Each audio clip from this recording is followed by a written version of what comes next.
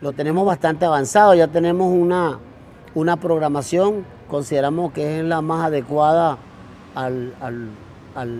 medio, al, sector campesino, a los, a los, requerimientos del país. Y bueno, eh, lo único que sí, que alerta, dijo el comandante Chávez, ¿no? Ojo pelado con lo que en todo caso ha generado ese mandato presidencial que era llegar y hacer ese Congreso de Campesinos. Por ahí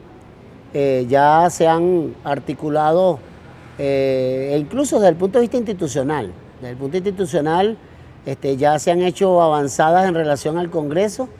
Y bueno, nosotros le queremos alertar al pueblo de campesinos que, que hay que tener mucho cuidado, depende de quien convoca. Porque para nadie es un secreto de que uno de los grandes males que nos ha perjudicado más es que caemos como incautos en las redes de esas personas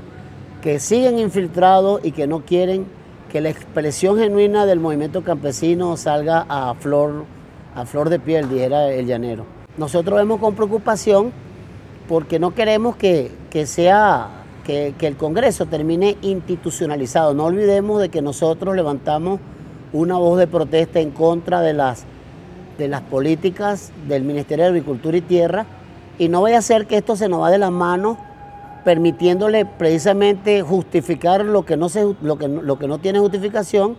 a través del movimiento de masa. Ahí hay que tener cuidado, camaradas revolucionarios, campesinos,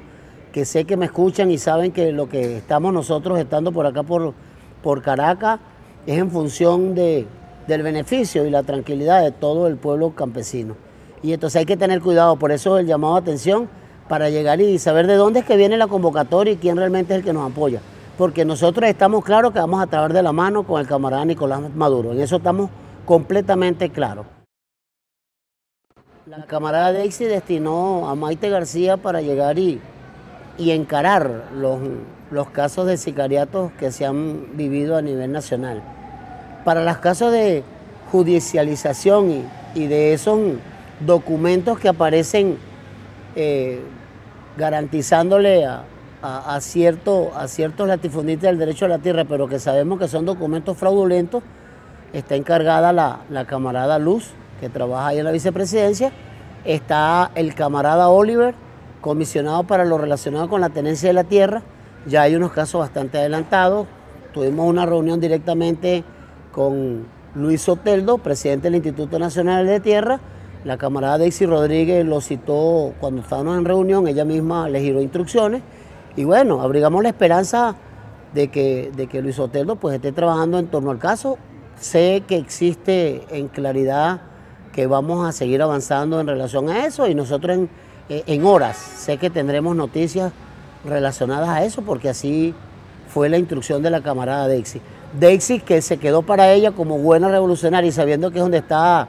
lo fuerte del asunto se quedó para ella lo relacionado a un plan de siembra que nosotros este, lo, vamos a poner en la mano de ella como, como una muestra, un voto de confianza que ella nos brinda y nosotros